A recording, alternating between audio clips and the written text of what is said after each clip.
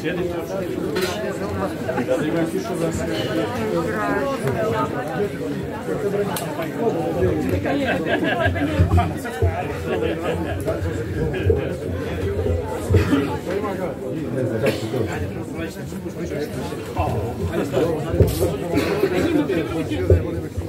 Možemo li? Možemo li? Možemo li? Možemo li? Možemo li? Možemo li? Možemo i?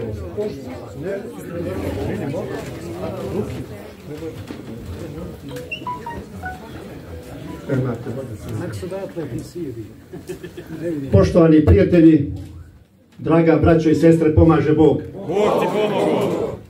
Imam izuzetnu priliku da vas u ime društva Crnogorsko-Ruskog prijateljstva Sveti Georgije pozdravim i poželim dobrodošlicu na jedno izuzetno veče gdje imamo izuzetnog gosta. Protojere je Staropor, rektor Cetinske bogoslovije, otac Gojko Perović.